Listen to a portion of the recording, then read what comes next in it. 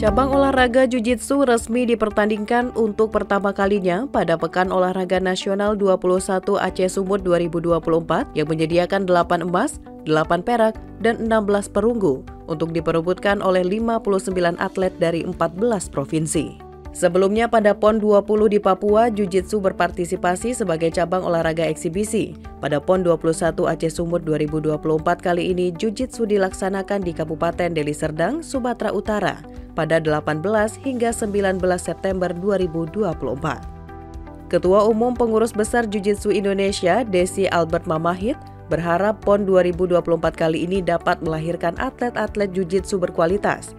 Ia juga menyebutkan potensi atlet jiu-jitsu Indonesia sangat besar dan sering mengikuti pertandingan internasional.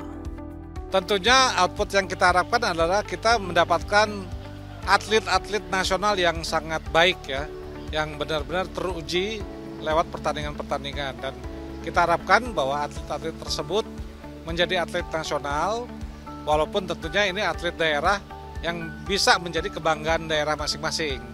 Tapi ini nanti atlet nasional di mana pemenang-pemenangnya itu kita harapkan bisa dipertimbangkan untuk ikut di pertandingan internasional seperti SEA Games dan Asian Games.